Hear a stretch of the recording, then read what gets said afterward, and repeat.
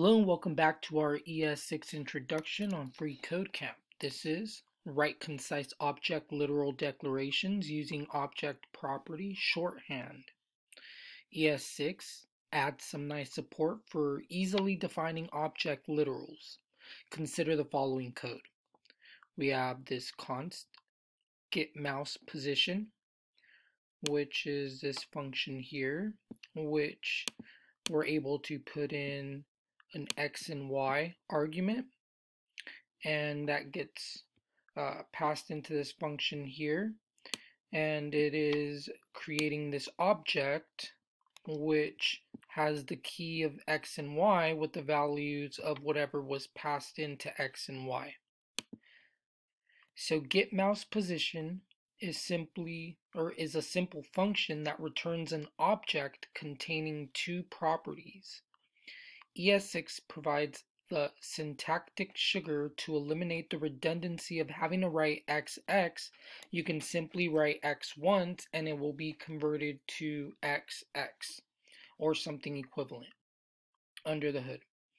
Here is the same function from above rewritten to use this new syntax. So here we have our get mouse position function which takes an X and a Y and it returns this object here and it's basically doing the same thing that this is doing here. It's creating an object um, it's creating an object uh, with the x and y and uh, the value of whatever is passed into x and y uh, passed in there.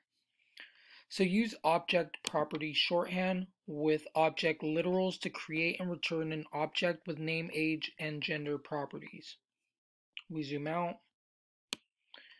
we have here const create person. It takes a name, age, and gender. It then returns this object here.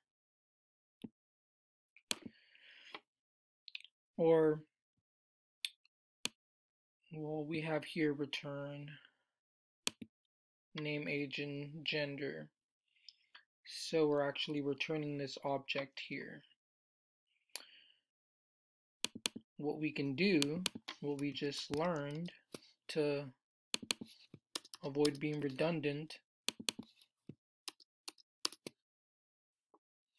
So this is basically doing the same thing.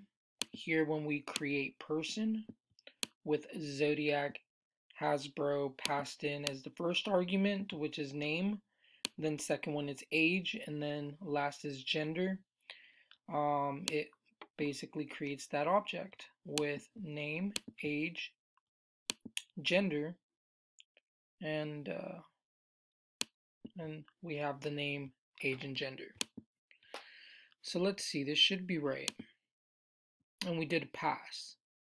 So the important thing that we learned here is basically just shorthanding our object literal which in the past we would have created something like this here.